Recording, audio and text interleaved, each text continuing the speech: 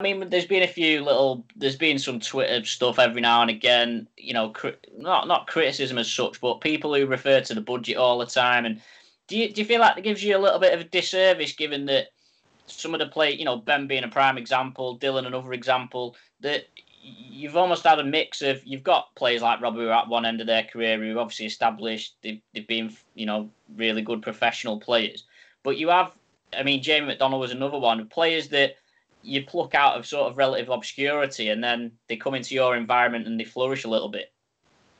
You don't seem to, you know, it's not all about the money in that sort of position, is it? I mean, you're looking at pulling players out of Sunday League football and turning them into, you know, potential football league players. Yeah, I mean, listen, if you if you want to call it criticism, it, you know, I know what you're talking about on uh, that fella on Twitter the other week. Um, but that's that's the perception that we carry as a club, and I think it stems from obviously the FA Cup and um, you know the FA Cup run a few years ago, when Toby's come out and said he invested a lot of the money to get you know. Sorry, just had a call come through. Yeah. Um, you know, he invested a lot of money to, to climb the, the leagues, and you know he's at he's at a stage, you know, we've, we've obviously hit the bar a couple of times and stuff, but I think um, it was two or three seasons in the league below throwing strong money at the at getting out of it, which you know, and I think that that stigma has has carried through. Listen, we've always been competitive within our area, within the northwest, in terms of what we can pay, but we've never been we've never been, you know, in the top three, four um, paying teams in the in the division. And I think if you look at this season, we're, we're probably sixth, seventh, maybe even eighth um, when it comes to when it comes to budgets. Um, but I don't go on about it because if teams have got good budgets and they're up at the top of the league, then they're doing the job they're doing the right things. If teams haven't got, you know, good budgets and, and they're up there, then they're punching above the weight and they're doing even better. Um, but I don't I don't harp on about it because it is what it is. You know, I've said to Toby this season, if we've got a thousand pounds a week to try and recruit twenty players, and that's all we can do, then we'll make a fist of it and we'll have a go. But um, I think in terms of trying to get players. It doesn't matter to me whether they've played for the Dog and Duck or Barcelona. If they can come in and, and do what we want them to do and they improve us, we'll we'll sign them if we can. Um, you know, the players you talk about, you know, Jamie McDonald, that's you know, he's one who's the way that finished was a was a disappointing, totally disappointing um, situation. Obviously, Ben's the other way. You know, for him to go from to jump the steps he's jumped is it's it's down to it's down to him. Yet we've helped him on the way. Yet we've given him little pointers and we've given him an opportunity. But it, it's the player, and I think you know I'm speaking to a player now who again I worked with at Tranmere, a young lad, and um, you know I'm saying to him, you're 20. The opportunity that you've got outweighs any opportunity you had at Tranmere. And the reason being, at Tranmere, and this is no Micky Mellon's being a top, or is a top manager with with what he's done, his promotions and, and the teams he's built and the teams he's put together, and, and of course the jobs he's had. You don't get them jobs if you're not a good manager. But Micky, if you look at his sides, are built on experience. The whole squad he's got at Tranmere is experience. You know, he's got a lot of players in that team who are, who are well into the 30s. Um, but the opportunity of, the, of, a, of a player who's 20, I'm speaking about, coming to us, he'll play. He'll play in the first team, and he'll play in a, in a, in a level that's getting more and more respect because people know there's players at our level who can step up because the gap isn't as big as what people think. But what players have to realise is that they might be getting 150 quid, but they're not too far away from earning 1500 quid a week if they put a run of games together and listen, he can earn that in two leagues above, fifteen hundred quid. You know, so lads, young lads especially, have got to realise they're not a million miles away from earning four figures, and but we can give them the opportunity to do that, and I will. It doesn't bother me. You met, you mentioned Ben there. It, it's a bit of a shame for him that he got the move to Blackpool and then sort of after a few weeks training they've been in lockdown. How do you think that'll impact his opportunity moving forward? No, I don't think it. I don't think it will impact his opportunity because I know he'll go back into pre-season and he'll be he'll be fit. He'll be flying.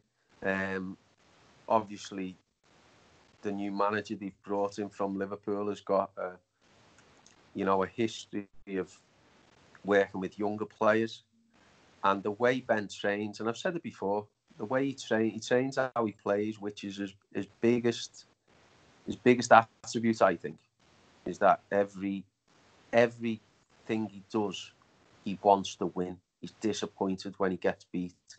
He'll work on things. I, I, I was watching the uh, reading something about Ronaldo with table tennis, and he got beat in table tennis, and he went and bought a table tennis table, and two weeks later he, he challenged the person who beat him, and uh, uh, and then he, he went and beat him.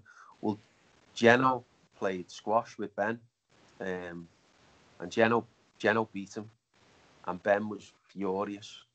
And I'd speak to people who live near Ben, and I'd say, "Oh, have you seen Ben?" And oh yeah, I've just seen him go and go in a sports centre to play squash. Who's he playing with? I don't know. I think he was on his own, and that's him. That's him for you. Um, you know, and that'll endear him to everybody he works with, and especially especially his new manager, because uh, because he'll run all over people in training. He did that when he came in from day one, and you know he'll do that. And I said to him, "Don't be overawed. Don't be looking at players as though." You know he's been he's been here, there, and everywhere. I remember I remember speaking to him about um, when we signed Broads, and he said, I, I googled, I googled that Brody. He went for three hundred grand, didn't he? And this was what was brilliant about Ben. He's so sort of naive to the footballing world, the, the horrors that it can show, and what have you. And um, he said he went for three hundred grand him, and then and then he was like, he was saying to me, "Is that him who went for three hundred grand to different training sessions and finishing sessions?" I was like, "Yeah, that's him." He's like, has he been injured or something? and uh, and he was he was brilliant with him. He was oh he was, he was funny. It was really funny. The as I say the naivety of him, but you know he he'll go on. He'll go on and do well for, for Blackpool. Yeah, I mean it's it's it's it's similar with Blackpool, isn't it, in terms of the players he's around? Because you've got people like Jay Spearing in that dressing room who's played in the Premier League and possibly in the Champions League even for Liverpool. Yeah. Um, Nathan Delfouneso, who's played Premier League for Villa. There's names in there, and I guess you know, like you say, it's in his character. He won't be. He'll still run all over him. Doesn't matter who they, who they are. Yeah, it'll.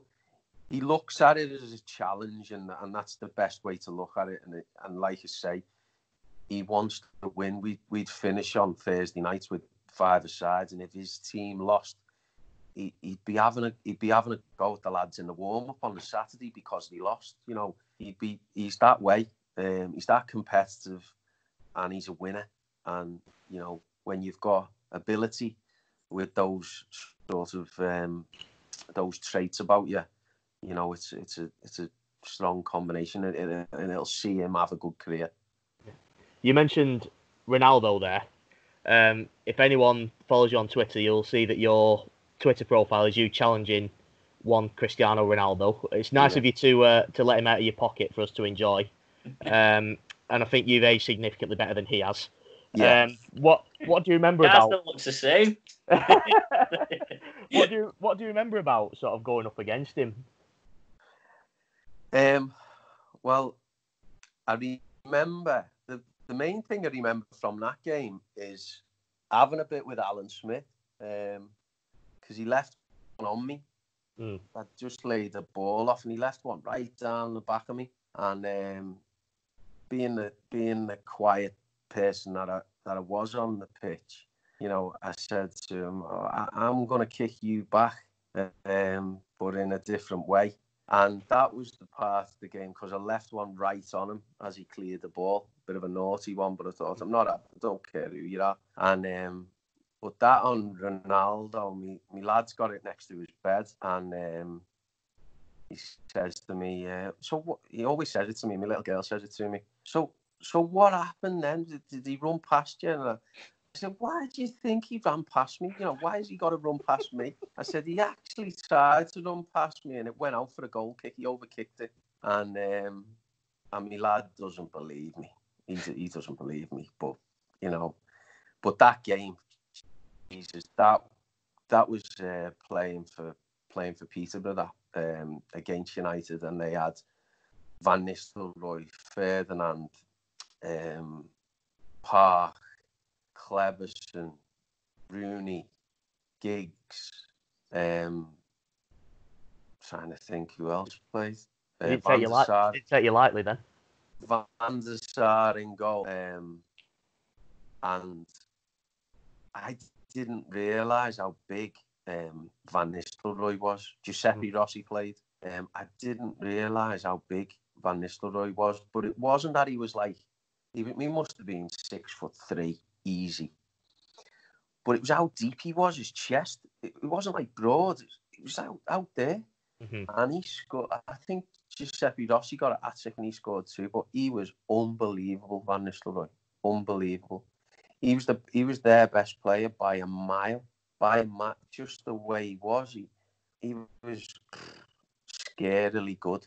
Giggs was obviously good, and they were all good. Obviously, mm. some World Cup winners and everything in there. But Van Nistelrooy that day, I couldn't believe how good he was. He like changed my opinion on because I thought, oh, he's just a goal scorer. But mm. wow, what a player! What yeah. a player he was you do often think about that Van Nistelrooy like that that he's just a penalty box poacher. But in general, you know, when you when you're a League One, League Two player and you you get the chance to play against a Premier League side or a, a side of world standing like Man United, does it does it make you think? You know, are they are we? I can't believe we're playing the same game here. It does. I mean, we played when I was at Chester. We played against Blackburn in the FA Cup, and um, we had a goal disallowed at, with about 15 minutes to go at nil nil. And we, we lost uh, we lost 2 0 in the end. And they brought Mark Hughes and Mark Benton up front. Mm. And he took Egil Ostenstad off and somebody else. But they had a team full of internationals. Stig Bjornebye, um, I think Henning Berg played. Um, David Dunn played, who I know who grew up grew up playing against, mm. and um, and it was one of the, that was one of those games where you thought you can compete, and they were a Premier League side, and you and you you felt well. I felt as a player playing in that. Listen, I'm not saying I was a Premier League player, but I felt in that game I I could compete against who I was playing against. Mm. Against United, that was a totally different level, totally mm. different.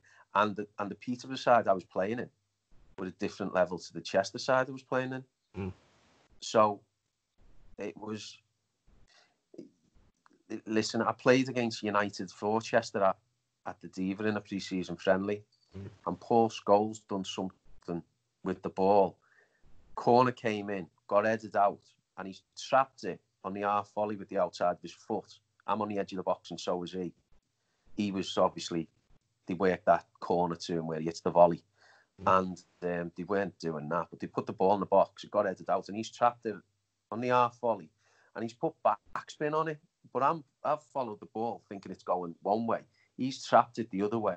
I'm still going over there somewhere, and he's wrapped his foot round the shot, and it's come off the outside of the post. And I'm thinking, wow. Mm. And they're, they're the, you know, we played at Cambridge. We played um, Everton, and when we beat Everton Everton 4 2. And Andy Parkinson played up front for us, who used to be at Tranmere. We signed him that summer. He scored two, he tortured them. Jagielka and Lescott was centre half. They had a strong side. Nuno Valente left back, Van der Rodwell, Phil Neville, Andy Johnson. And it was part of Cambridge had sold John Ruddy to Everton. It was, it was a pre-season friendly. Moyes was manager and Arteta played. And um, he took a short corner and I've gone out to him and he didn't touch the ball. the ball was rolling sort of towards me, and I didn't dive in, and he didn't touch the ball, but he still sent me, sent Mm. me out the way, and the ball carries on rolling straight, and he just runs onto it, and that and and like you know when you come up against them, like who are the the ones that are elite. Yeah, you just little things they do, little touches, little movements, feints and stuff. They're just just different, different levels. And you know, as, as we were speaking before, I hope the Premier League gets the finish just because of that. And if Mm. it's a tournament, brilliant, even better. Yeah. Do do you what do you have? Do you have any like mementos or prized possessions from your playing days? Like, did you swap shirts and all that palaver or not? No, I was never one who done that. You know, I never, I never really done that because uh, I don't know. I just the the black Didn't really fit in with your persona on the pitch, I suppose. Asking someone for a shirt. Yeah, it wasn't. I don't think it was really me, but I think the Blackburn game was. Uh, I was fuming. I was fuming with fuming. Not like me to be angry with the referee, but I was fuming with the referee for disallowing the goal. And then uh, one of their goals was a, he gave a free kick against us, which wasn't a free kick. They scored off. Um, so I just like trudged off, disappointed and angry. So I didn't get involved with anyone. And the Man United game, everyone was all over Rooney's shirt, and I just thought, oh, uh, I'm not gonna, I'm not gonna bother. My my mementos are the pictures that I have and, and stuff, and little clips of them, and that that I'd sooner have, I'd sooner have them. You know, the only shirts I've got is when we won the league at Chester. I kept that shirt. When we won the Four Nations, when I played for England C, I've got Mm. that shirt and medal, um, and the caps. Um, yeah, and I've played in numerous playoff finals and, and not won. Um, two for Cambridge, two for Luton, and then medals in a box somewhere because I don't want finalist medals. You know, they they don't interest me. So, but uh, but yeah, so my mementos are the, are the pictures that I can show the kids really. So, so who would you say is the best player you've played with then? Um, No one in that Rochdale side, I would have thought. uh, Maybe Graham Lancashire. Andy Morris, remember Andy Morris? Yeah, Andy, Andy Morris is a quality player. I have to say. Um, best player I played with was probably at, when I was at Blackpool and I was 16 maybe. Hmm. In fact, no, I wasn't. I was I was still at school and I played for the A team over in Bebington Oval against Tranmere. Hmm. And Kevin Sheedy was at Blackpool then right. and he was playing in a game for a bit of fitness. And I came, I actually came on left wing, and he was left back, and um, and he had an absolute wand of a left foot. Mm. He was, he was ridiculous. Um, he, but obviously it wasn't a, wasn't what you call a, a proper game. But there was a there's been a, there's been a few players, but but none like sort of superstars, if you know what I mean. No no Mm. one like who's come from the Premier League who who's played. Um, but like players like James Quinn, you know, he did play in the Premier League. You know, Mm. he was someone who he pl- played for Northern Ireland and he went over to Holland and played. And he was a top player, funny fella, as really funny fella as well. He's assistant at Solihull now, and uh, he was quality. Micky was a good player, Micky Mellon, um, at Blackpool. Um, but they've always been sort of good at good at that level. Do you know what I mean? So it's been quite a few have been good at that level. Um, Sean St Ledger at Peterborough was a good player, although you know he's has a has a character at times. He didn't do himself any favours, which probably makes you forget a little bit about him when you're talking about good players you've played with. Um, yeah, there's you know there's been a few of that type, you know, at League One kind of level, League top top end League Two level. Um, but so I'd probably have to say, for in terms of names, was Kevin Sheedy when I was 15. Mm. That's about it. Or going back a little bit further when I was at Liverpool and played with Steven Gerrard when I was about 13. So that might be one. But, uh, Yeah. but yeah. But I played against um, we played Man United at the Cliff. Remember when Cantona got banned? Yeah, yeah, yeah. when he got banned for the kung fu kick and all that. Well, every every week, United had arranged um, training ground games, like bounce games, Mhm. and uh, they arranged them against all the Northwest clubs, and to, to sort of keep him playing a game. And we played them twice over a, like a six week period, and I was subbing both games. I was a first year YTS, whatever, 16, 17. And um, and he played. And to be honest, there wasn't much point in the games being played because they were being played for him and he just walked around like he Mm. couldn't be asked. Yeah. But but some of the things he'd done when he got the ball was ridiculous again. You were like you were just standing there wide eyed looking at this as Eric Cantona we're playing against and you know, there was some young lads coming through at United at the time, the Beckhams and stuff, Scholes, Nevilles, and all them, because they would have been at that age. Um, but he just walked around. He just walked around. So, Mm. um, but yeah, there's obviously you, you play against those those players, and uh, but like I said before, you, you do you do understand why they are top top elite players. So moving, going back to the present day, I suppose. What, how do you see the next few months panning out in terms of building for next season?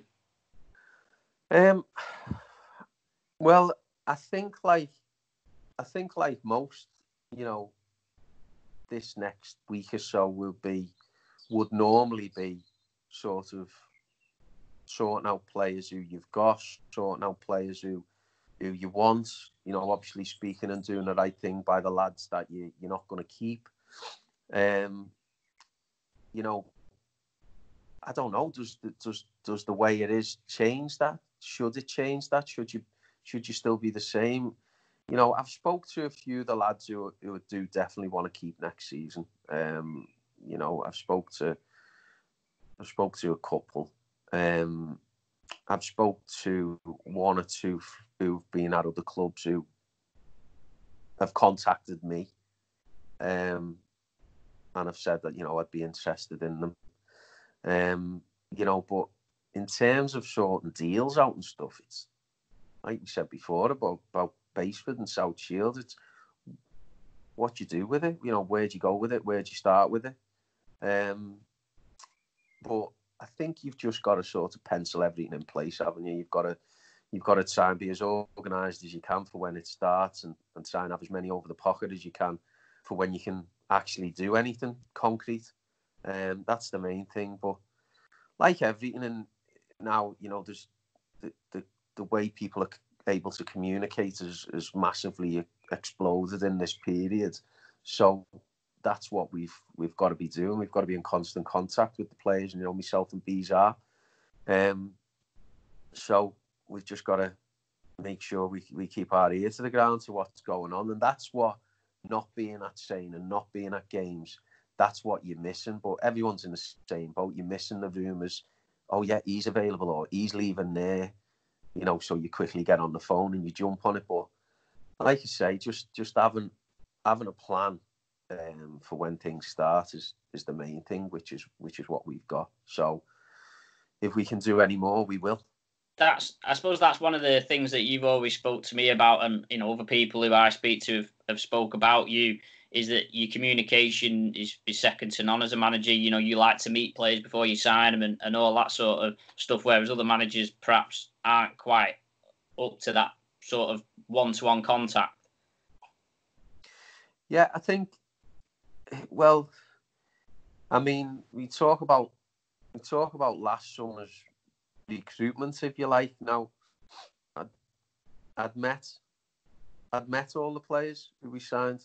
Um, you know, and you get a feel for players, and um, and I'll be dead honest. There was a couple I never got a hundred percent feeling for, but I kind of gave them the benefit of the doubt because um, because I knew they were good players. Um, but you know, wrongly, I, I, I, I went against me gut on a couple of them, um, and that and that told. So I think it's important that you go with your gut when you meet people, and and because you you're very rarely wrong. Um, but I think I think meeting people and looking them in the eyes is is key. I think um, you know getting a feel for them because we can all we can all tell a, a, salesman, can't we? We can all tell we can all tell someone who's who's paying your lip service and telling you what you want to hear. Um, we all we all know what, what those characters are like, and and I think it's important that, that you do that. Um, the other thing I do as well is, I, you know, I speak to as many people as I can about them, get as many get as many points of view as I can, you know, about them as a character, about them as a player, um, because from a management point of view, you could phone me up as, as you know, being a manager and say, what's he like?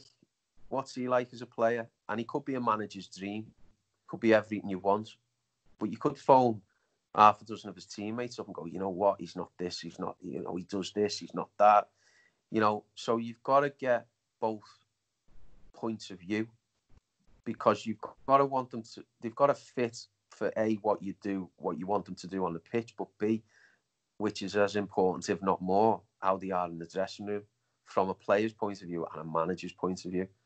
Um, so just try and speak to as many people as I can. And and the other thing as well, which which I always do is I always try and find, or if, I, more often than not know players who they, they've played with, or if they're an ex, if they're a younger player and they played with certain experienced players that I know. I always try and get that experienced player to speak to them and say, listen, this is a good opportunity for you, um, blah, blah, blah, and, and try and sort of not cajole them to come to us. If they don't want to come, then fine. I'm not to I'm not to break their arms to get them here. But I think it's important you try and push as many buttons to to, to, to make it happen and make it right. That's that's what I've what I spend most of my time doing. So so you're so at this point you you sort of know who you want to keep from last season, roughly. That way, yeah, yeah, yeah, I do. Yeah, um, you know, I think. Um, I, listen, if if every single player, um, if there wasn't another player available and and I signed every one of the players from last season, I wouldn't I wouldn't be broken hearted. Um, but I do think we need certain areas to be freshened up a little bit. Um, you know, not everywhere, not everywhere. Just just one or two areas that need to be freshened up, that need a bit of a bit of younger blood, um, and to you know, and to and to push us on again, give us a bit more life, give us a bit more legs, give us a bit more energy, and you know, a bit more youthfulness in, in terms of how we look. I think that's going to be that's going to be important. Ultimately, it is a young man's game. Um, you know, it's about being fit and and that's you know we and and of course with with certain cuts that we'll we'll naturally incur. You know, that's what that's what the probably going to point us in that market anyway. But it's it's where I want to be. It's you know it's how I want to see the squad evolve. Well, Paul, thanks very much for that. Hopefully, it won't be too long until we uh, see some football again. Matt, thanks for uh, your time as well. Um, please yeah. do give it a like and a share on, on Facebook and Twitter and whatnot, and we'll see you next time. Cheers, mate.